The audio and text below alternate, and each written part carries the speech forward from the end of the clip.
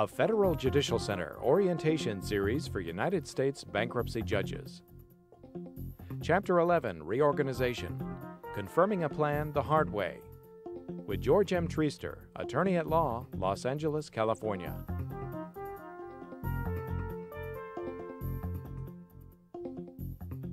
Suppose it's not possible to achieve such a fully consensual plan under Section 1129A. In other words, all the requirements are met except that one or more impaired classes has not accepted the plan. If all requirements have been met except the one in Section 1129A8, it's possible to confirm the plan the hard way. This is known as cram down. I emphasize that confirmation is not possible at all unless all of the 12 other requirements have been met. We'll discuss cram down in two steps. First, we'll give an explanation of the concept. Then, we'll explain how the concepts applied to creditors and equity interests. Cram down may be hard to understand until you've grappled with it for a while. But we'd like to take a few minutes to talk about it now because it often provides the impetus for a consensual confirmation. Even after a brief explanation, it probably is going to be apparent why parties normally want to negotiate reasonably so they can confirm the easy way and avoid the difficulties of cram down. To satisfy Section 1129B's cram down standards, the plan with respect to each non-accepting impaired class must be fair and equitable and cannot discriminate unfairly. What's it mean to be fair and equitable? A considerable body of case law over the years has construed and refined the meaning of the fair and equitable rule. This rule is sometimes referred to as the absolute priority rule. It's been established that senior classes must be fully compensated under the plan before junior classes can share. A senior class is one whose legal rights have priority over a junior class as a result of contractual entitlements or applicable law. For example, in the most simplistic terms, creditors are senior by law to stockholders. Preferred stockholders are senior to common stockholders. And among the creditor classes, one or more of them may have seniority or be subordinated to the others. As I just said, any impaired senior class that has not accepted the plan must be fully compensated before a junior class may receive any reorganization value. Moreover, senior classes can't be overcompensated. Overcompensation would give reorganization value to seniors that fairly and equitably belongs to the junior class. Now, how is cram down applied under the code so that a plan may be confirmed despite the class's opposition?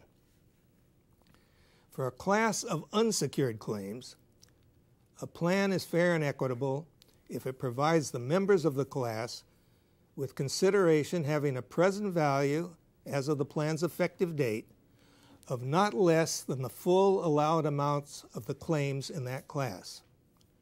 In other words, the consideration fully compensates the impaired, non accepting, unsecured creditor class.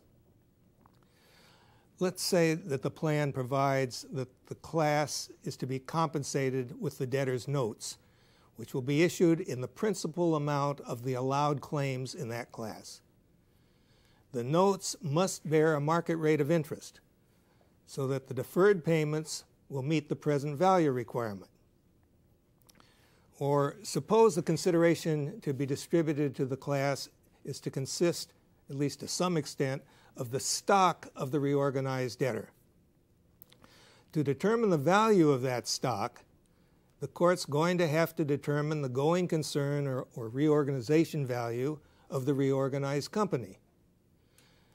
This is an exercise that's difficult to predict, to say the least. Alternatively, if the unsecured creditor class is not to be fully compensated, Then, under the fair and equitable requirement, no junior class, namely stockholders, may receive anything under the plan. The fair and equitable rule applies similarly in the case of ownership interests. In the case of a secured creditor class, the fair and equitable rule is complied with as a general proposition if the secured creditor retains its lien on the collateral or on the proceeds of the collateral if it's sold, and receives under the plan deferred cash payments that have a present value as of the plan's effective date equal to the allowed amount of the secured claim. In other words, the lien remains on the collateral and there must be a stream of future cash payments having a present value equal to the allowed amount of the secured claim. And typically that involves paying a market rate of interest on the deferred installments. The practical effect of the fair and equitable rule in the case of cramming down a secured claim is that the payment period of the secured obligation may be restructured. As a matter of fact, any of the terms of the secured claim may be rewritten, as long as the present value of the stream of payments is assured by the appropriate interest rate. There's an alternative provision of fair and equitable that relates to a secured claim. This provision is intended as a reservoir of judicial power to permit other kinds of fair and equitable treatment of secured creditor classes. It enables the cram down of any plan provision on a secured class that assures the realization by that class of the quote indubitable equivalent of the claim. Now, I've been referring to secured claims. Let's recall the provisions of Section 506A. When a claim is undersecured, or in other words, only partially secured, the allowed amount of the secured claim is ordinarily the value of the collateral.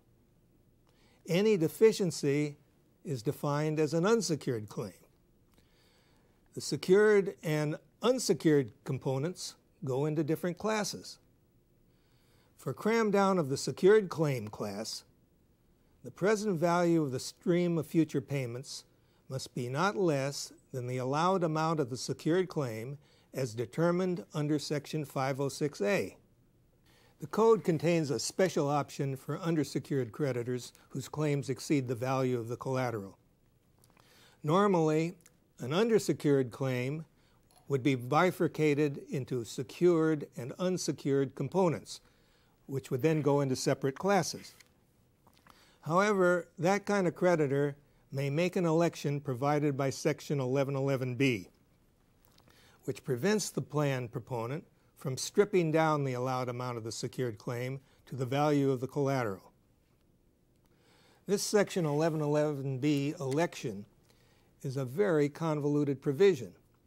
It results in the undersecured creditors giving up its unsecured claim and its potential ability to veto the plan by voting in the unsecured creditor class to reject the plan.